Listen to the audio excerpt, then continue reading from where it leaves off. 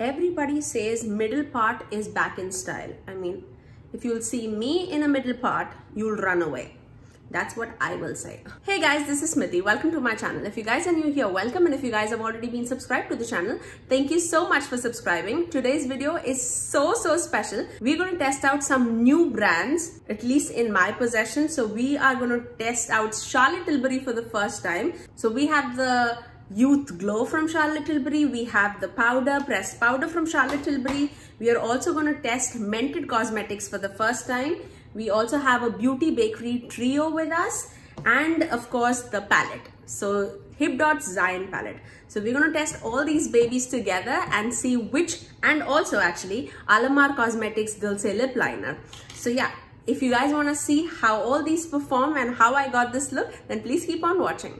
So let's begin. The first new thing that I really want to test out is Charlotte Tilbury's Hollywood Flawless Filter and I have the shade 4 medium. So I'm lightly going to tap it off with my fingers on the highest point of my cheekbones and see I've heard a tremendous amount of response over this product so I was like yeah let's just test it out I do have like a sample product of this. So that's what we're gonna do. It definitely does give like a great glow. Now because I'm putting it on a bare skin, it's not gonna be that much, but I'm gonna put like a skin tint over it. Basically acting like a glowing primer. So let's see where it goes. I've already done my brows and for that I use my Arches and Halos brow pencil in the shade charcoal. So this is the second time that I'm using that brow pencil super glowy, right? It's not blowing my socks off my feet, but yeah, we'll see how it goes. For my foundation, I'm going to use my Fenty Beauty's Eaze Drop Blurring Skin Tint in the shade 11. So I have like a bunch of new brushes to try out and these are the Colourpop brush set from their Stone Cold Fox collection. So I'm going to put that to the test today. So now for the foundation brush, actually they do have a brush but it's not that stiff as much as I generally use but I'm anyways going to use this and this is the F29 brush and see how it performs. I'm basically going to stick to this brush set today just to test out how these brushes work and if you guys purchase only one brush set is it good enough or not. Now because this is a skin tint it's going to be easy to blend for sure. It's not like a full coverage foundation. It's just like a it, it has a pretty much like a good coverage i would say but like more of like a medium coverage foundation light to medium coverage. I actually have done like a full review on this uh, drop i will link it in the icards above for you guys if you have not checked it out. But i i really like this eaze drop and did i tell you i'm in the shade 11 See, it easily can be buildable also. Now see, because this brush is like super movable, the product will sink into the brush. See? And that's because it's not like tightly packed. Now for my concealer, I'm going to take my Makeup Forever Ultra HD Light Capturing Self-Setting Concealer and I'm going to take the shade 30. I think I'm going to mix the shade 41 too just because 30 might be a little too light for me right now, especially because I have a tan going on right now. So this is 30. I'm going to mix 41 right on top of that and see. I'm going to use the same brush. See, it is a full, full coverage concealer. I really, really do like this. Perfect. That was a good match. I was doubting that 30 is going to be a little too light right now. Nice, cool. I'm super excited about the powder that I'm going to test next because it's one of the bougie powders and this is the Charlotte Tilbury Airbrush Flawless Finish Setting Skin Perfecting Micro Powder and I have in the shade medium. So this is how it looks. It does come with a mirror too. I'm pretty sure you all know about it. I'm going to take the brush F32 for this and I'm going to dip that into it. It picks up pretty nicely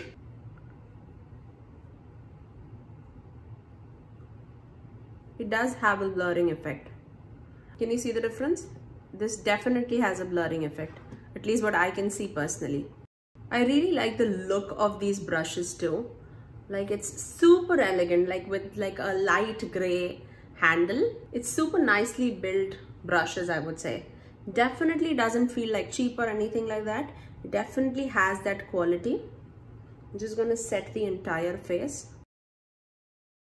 They do have the big powder brush, so let's take that actually. So for the whole face, I'm gonna dip into that powder brush, which is F28. I love this kind of powder brushes. So I'm gonna take that and just lightly, oh wow, this is amazing. So soft. Now, let's move on to a new bronzer. I'm super, super excited to try this. And, and this is from Mented Cosmetics. And I have the bronzer in the shade Beach Bum. So I'm going to take the same brush. It seems like a, a neutral warm bronzer. Let's see.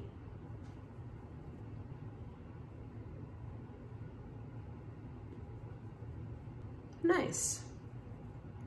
Seems pretty smooth, I would say easily blending. Wow.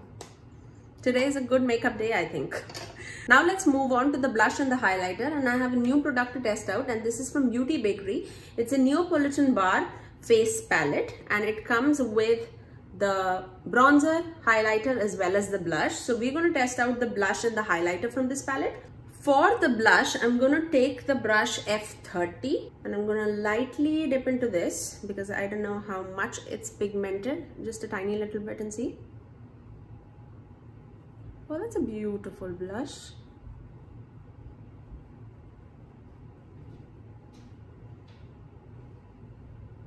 Super nice. Even though it's like super bright in the pan, but you can definitely take like a light amount and then dust it over the cheeks and super blendable too. I like that. For the highlighter, I'm going to take this shade. It seems like more of a golden shade, I would say. And this I'm taking on the brush F33. And see, oh wow, that's popping.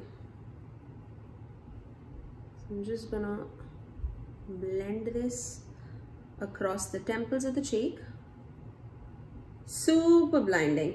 This is actually like more of a pinky gold, I would say. I might go over this with like a powder brush so that I can like melt everything together. But if you guys like a blinding highlight, I mean, I think you would really, really like it. To just melt everything together, I'm just going to take my setting spray and this is the e.l.f. setting spray.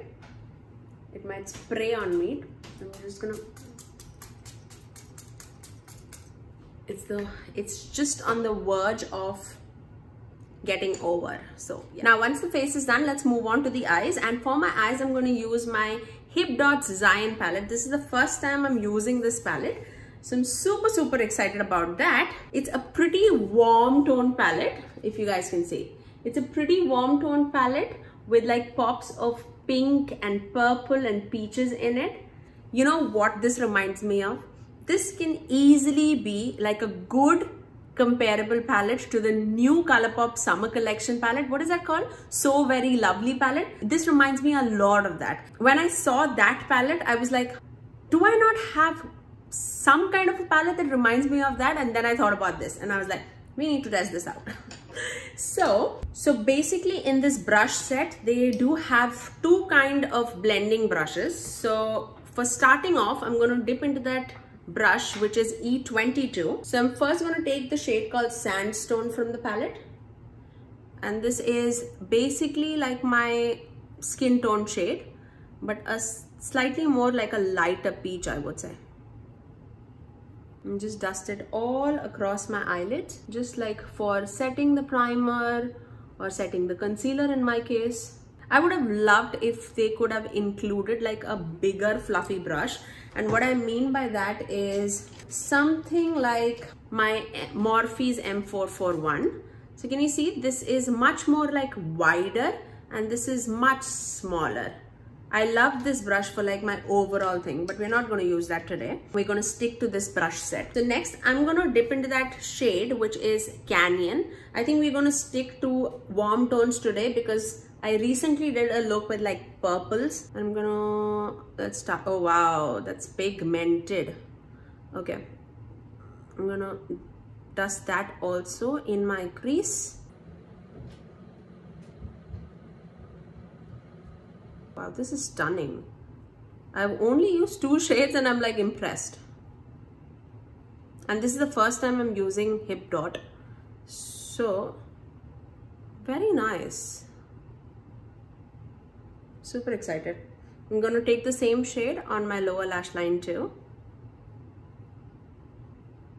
Now since we have that orange peachy look in the background, now we're going to dip into some pinks and for that I want to dip into the shade which is Narrows from the palette. This beautiful burgundy pink shade I would say. Super super pigmented. I'm going to take it till like my half of my lid I would say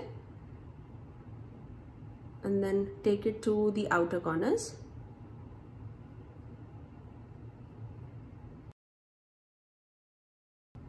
And then I'm going to take the same shade to my lower lash line.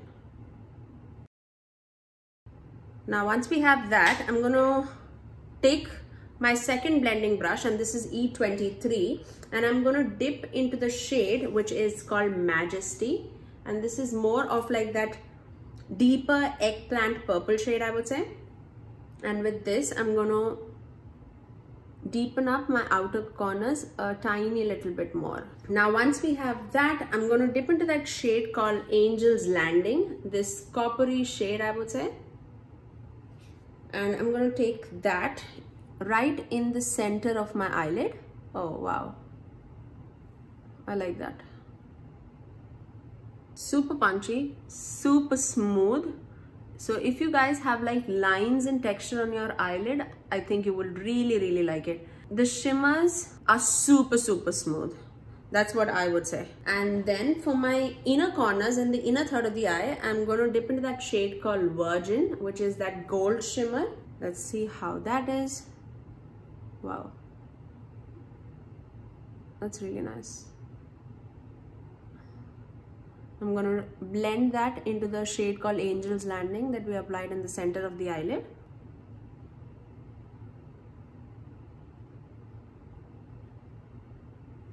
That's nice. I like that. Okay, so for my inner corners, I'm going to dip into that brush, which is E28. And I'm going to take that same shade and plop that in my inner corners. Oh, this is nice. Like that.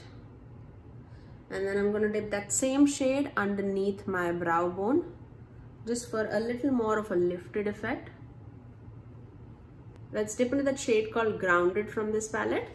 And this I'm going to apply that on my brush which is E26 so I'm going to apply that.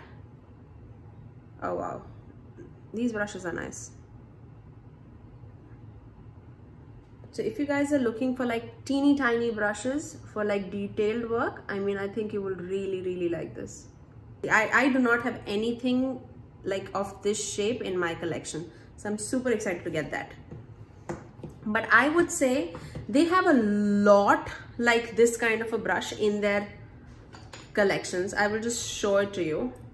Like, I think they could have avoided like these teeny tiny brushes like so many of them and given us like a bigger blending brush in this collection. So see this one is like that.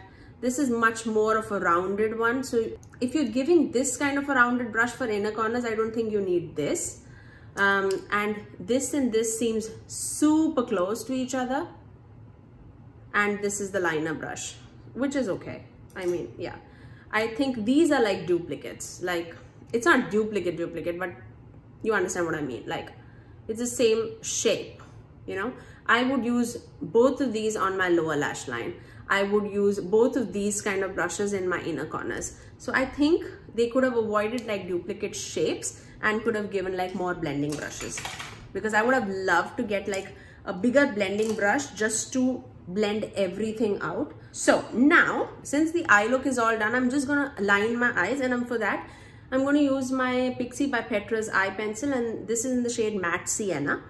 I'm going to take that on my waterline. Now for my lips, I'm going to test out Alamar Cosmetics and this is Dulce Lip Liner. Super excited about that. this is like a true nude in my opinion, for me at least.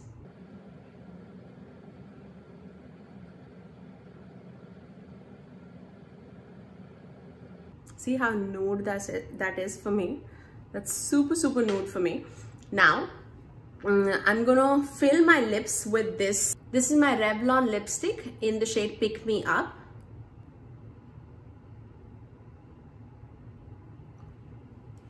Like that.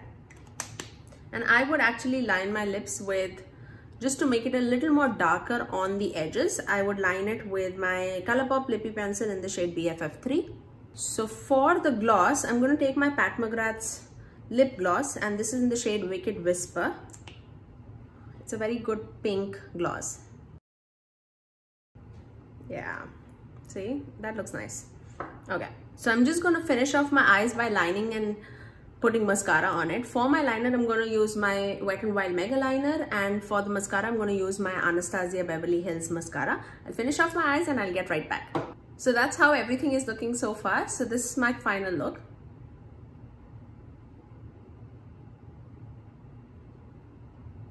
I really hope that you guys enjoyed this look. This is such a warm burgundy tone look. I absolutely love the way it came out. The wing went extra long just because I couldn't even it out. So yeah.